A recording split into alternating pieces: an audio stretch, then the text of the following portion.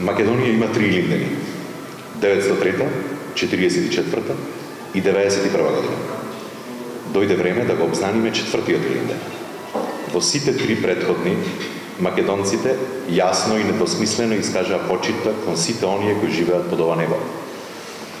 Дојде ред и на нас да ја покажеме таа взаемна почита. Ние, современиците на овој миг, имаме должност да ги споиме тие вредности од минатото за доблесно, сите заедно, да се насочиме кон иднината. Ниту еден патриот не е против националните права, култура и традиционалните вредности на својот сограѓани. Македонија е модерна граѓанска република, македонците, албанците, србите, ромите, бошњаците, турците, власите и другите живеат во единствената матична држава на македонскиот народ, кој слично како и други народи од регионот и се уште во 21 век е соочен со негирање и дискриминација.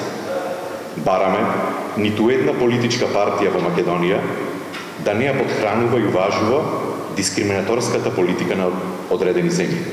Бараме ниту една политичка партија да не прифаќа платформи создадени за туѓи интереси во туѓи држави без изборен легитимитет, чија цел е разнебитување на Македонија каква што ја знаеме.